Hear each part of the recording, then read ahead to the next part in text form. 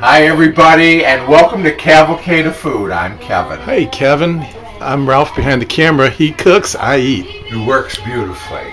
And you know what? We're going to be cooking and eating today because um, this is kind of, we're coming late to the party, but um, in the first week of June, you had National Donut Day. Let's make it National Donut Month. There we go.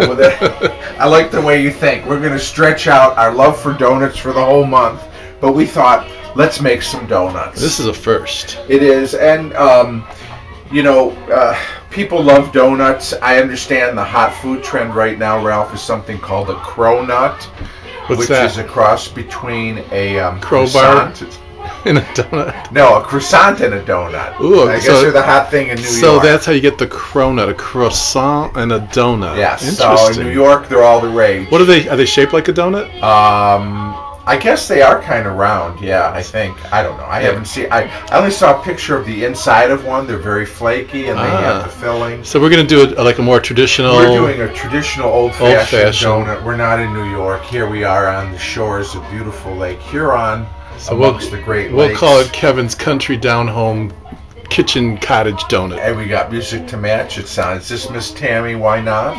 No, this is this is the one and only Loretta Lynn. Loretta Lynn, We picked these up uh, at our old miner's daughter. favorite little place in Carsonville where we can get uh, what is it, twelve records for a dollar or ten cents a piece. And homemade donuts actually is very popular in the South. Yeah, that's what I was thinking. Um, you know what? There's two kinds of donuts. There's a cake donut and a yeast donut. oh, So a cake donut is what you think of as sort of the old-fashioned donut, something you might get at the cider mill. the kind of heavier ones. Um, they're heavier. They're like a cake. hmm Uh, then the yeast donut is something that's very light and kind of puffed up. Um, Are those also called raised? raised, yes. Because they because they float. They rise because the dough is raised. Oh, just oh, like okay. bread dough. You know, it's got air pockets in there and from the yeast. Gotcha. So we're making an old-fashioned cake donut, which doesn't require yeast, but it does require some other leaveners, and we'll get to that in a second. All right, what's step one? So step one is I've got three eggs in the mixer here, okay? And to the three eggs, we're going to add us two tablespoons of butter and a cup of sugar, okay? So let's just get all that together. And I'm going to mix that together until it's kind of all creamed up. Now over here, Ralph, we've got three quarters of a cup of buttermilk or sour milk, either one. We didn't have buttermilk, so I made sour milk. Which is what? Basically, you take milk and you add vinegar to it. Oh, Or you could also use lemon juice. Okay. Okay? Um, and so this is two thirds of a cup of regular whole milk, to which I added two teaspoons of vinegar. so you created your sour milk. Yep. And then what we've got here is three and three quarter cups of flour. And we've got two teaspoons of baking powder, nutmeg, about three quarters of a teaspoon, a teaspoon of baking soda, a teaspoon of salt, and about three quarters of a teaspoon of cinnamon. So, So equal amount cinnamon and nutmeg. yeah. Okay. And then the baking powder and sodas are leaveners, and of course you always got to have a little salt. So I'm going to keep beating this until it gets nice and creamy, and then we're going to come on back and add our dry ingredients. We're making donuts. All right, now of what food. we've got to do. So we've got our sugar, eggs, and butter beaten Cream. together, hmm and I'm putting our flour and all of our other dry ingredients, our spices, our baking soda and baking powder, and our salt, all in the sifter here. And then what we're going to do is we're just going to give these a quick sift together.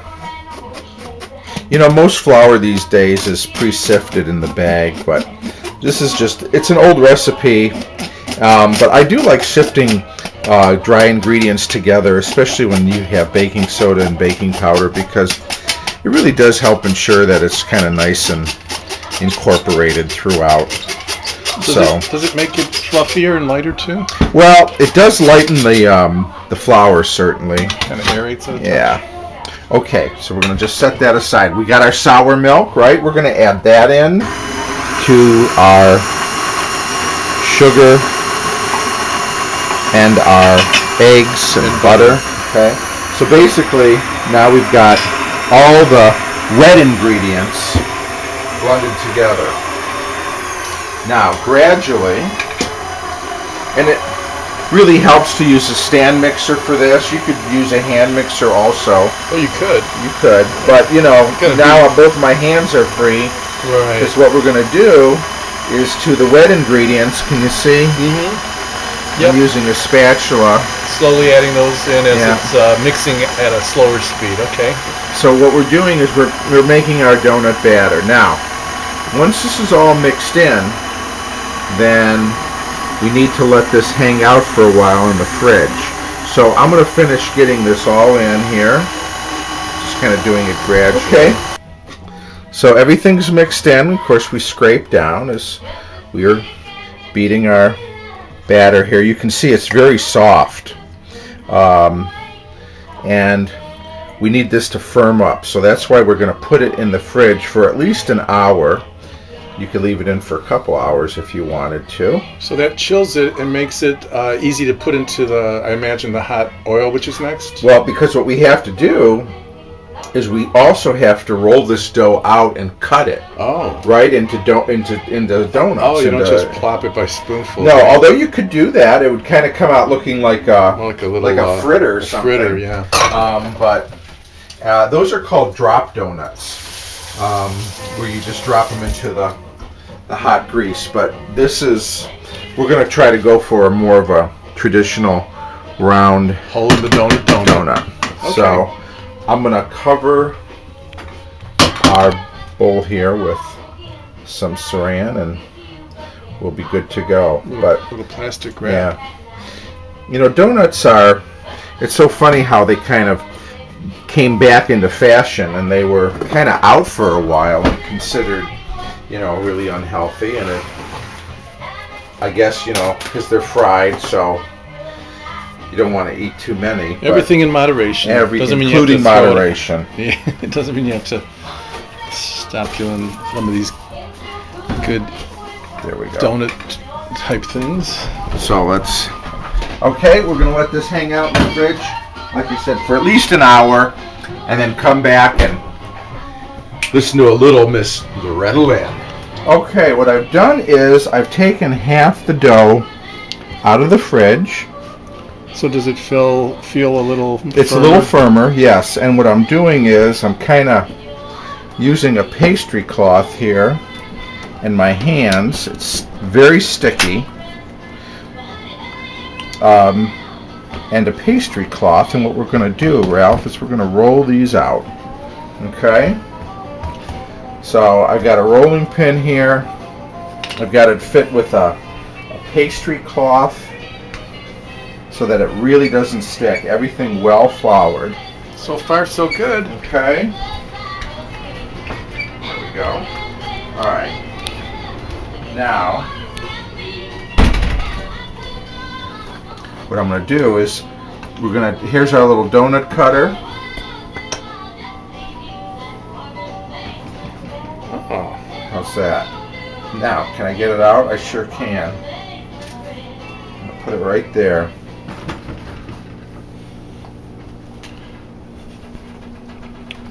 There we go. We're going to cut our donuts out like so. the donut circles. Yep. And then, This is just on a piece of wax paper. so do the um, does it help maybe to?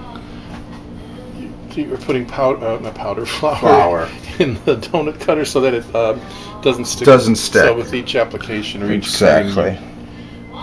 Okay, so should we just continue on this or go back? I'm gonna we're gonna come on back. I'm gonna finish cutting these donuts out and getting them on my wax paper. Is there anything In- in, the meantime? In the we're doing? meantime, I'm gonna take my deep fryer here and we're gonna take this temperature up to 375. Okay? That's our frying temperature. The other thing too is once we're kind of all cut up here, I'm going to also um, put our scraps back together and roll those out some more. So we don't waste anything. Yeah, and keep on cutting. Okay. We are ready to start frying. The oil is finally at temperature. And our continuity department points out that you seem to be wearing a different shirt. yes, I am, and I am wearing a different shirt. That's because when I went to put my thermometer in the um, fryer, it dropped and the thermometer's fine, but the oil splashed on my shirt. Luckily, it wasn't hot yet. Luckily, it wasn't hot, but it made a mess on my shirt. So you know what? We had to change. And again, people, why don't I wear an apron? I don't know. Oh yeah, I keep but I know. forgetting to remind you that. So, what type of oil did you say? This is vegetable oil, Okay. um, which is best to uh, use for this kind of thing. So here's what I've got. I've just got a I've got an old brown paper bag, and then on top of that, I put a couple layers of, of paper towel. Just on top of a cooking sheet. Yep. or- And so that's where we're going to transfer our donuts once they're fried, okay? So I don't know if you can tell uh, the uh, thermometer. We want it at 375. The nice thing about uh, a fryer like this is that you can kind of set the temperature and it will sort of maintain it. You could also do this in an electric skillet if you wanted to, Oh, okay. okay? I know you're the king of vintage appliances. Is this an old appliance here? It is. This is an old Sears fryer. So let's put our donuts in. I'm going to do about, oh, maybe three at a time. Oh, look how they're popping back up. You don't want to crowd them in. I think I could do one more. So three or four at the most. Yeah. What about that one that has something in the middle? Well, that's just from the, Can I eat that? yeah, you can. That's the hole that kind of, Got filled. yeah, it's a, it's an Audi. But look at that. I mean, look at the one that popped up first. How nice.